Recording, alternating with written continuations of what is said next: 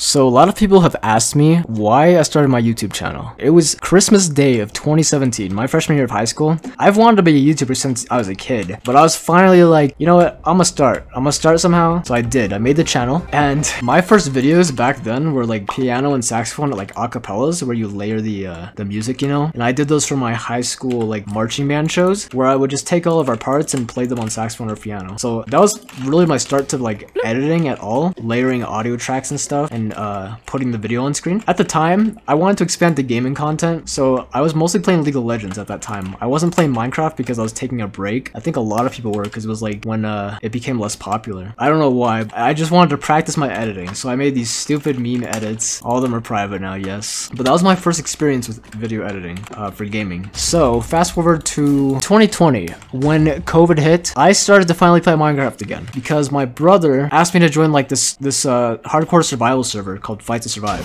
And I was like, okay, why not? Haven't played Minecraft in a while. So I started making my first videos in like 2020. And I think they were just like, it was a trolling compilation. I have like eight videos. It was a whole series on that Fight to Survive server. Those are all private now, but like, they were kind of funny. They had some meme edits. Nothing accustomed to the algorithm or anything. It was just posting for fun. I started with that. Then eventually I learned Crystal PvP and then started making the tutorials on it and also montages and stuff. My videos were not like that insane yet. It was just like practicing editing. But the thing about those crystal videos is I would say that's the by far the biggest change in my YouTube channel as far as what I was posting because when I started to play crystal PvP, I realized like how good I was actually and that there was not any other guides or like montages on YouTube that were really big yet. So I was like, I have an opportunity here. That's when I decided to base my channel like mainly on crystal. That's kind of why I started YouTube and why I'm doing crystal PvP videos now. Make sure to subscribe if you like these kind of videos and also comment what ideas you want to see next. And I'll see you guys in the next one.